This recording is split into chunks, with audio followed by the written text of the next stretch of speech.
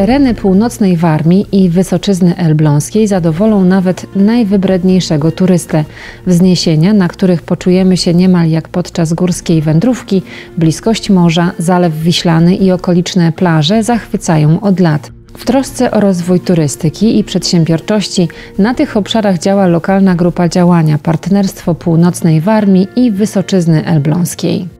Północna Warmia i Wysoczyzna Elbląska to obszar e, bardzo bogaty w walory zarówno historyczne, przyrodnicze, jak i kulturowe. Jako LGD wyznaczyliśmy sobie takie cztery cele główne, do realizacji których e, skutecznie dążymy i są to przede wszystkim rozwój społeczeństwa lokalnego, e, rozwój przedsiębiorczości na obszarze, rozwój turystyki, jak również zachowanie dziedzictwa lokalnego. Wśród wielu beneficjentów lokalnej grupy działania znajdziemy między innymi hotel Warmia położony w samym sercu Braniewa. Dofinansowanie, które udało się uzyskać na rozwój obiektu wyniosło 290 tysięcy złotych.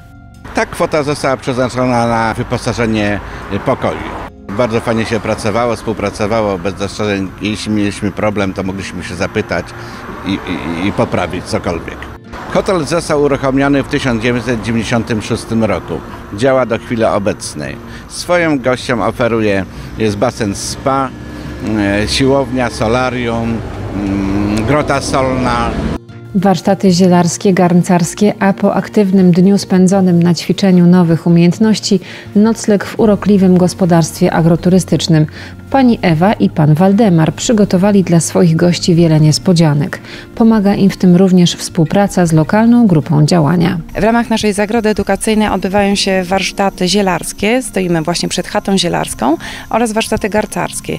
Ponadto mamy 12 pakietów warsztatowych, między innymi jest historia ziemniaka, dojenie krowy, robienie masła wiejskiego. W 2012 roku napisałam projekt na chatę zielarską, na którą dostaliśmy dofinansowanie. Było to spełnienie moich marzeń, ponieważ ponieważ dziełami od wielu lat się zajmowałam. Następnie w 2014 mój mąż Waldemar napisał wniosek na wiatę garcarską, gdzie powstało miejsce do różnych warsztatów, Lokalna grupa działania Partnerstwo Północnej Warmii i Wysoczyzny Elbląskiej pomaga nie tylko przedsiębiorcom.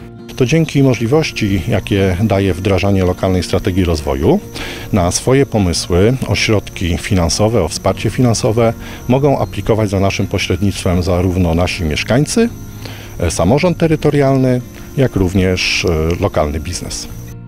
Nowe nabory, a także informacje o działalności grupy znajdziemy na jej stronie internetowej.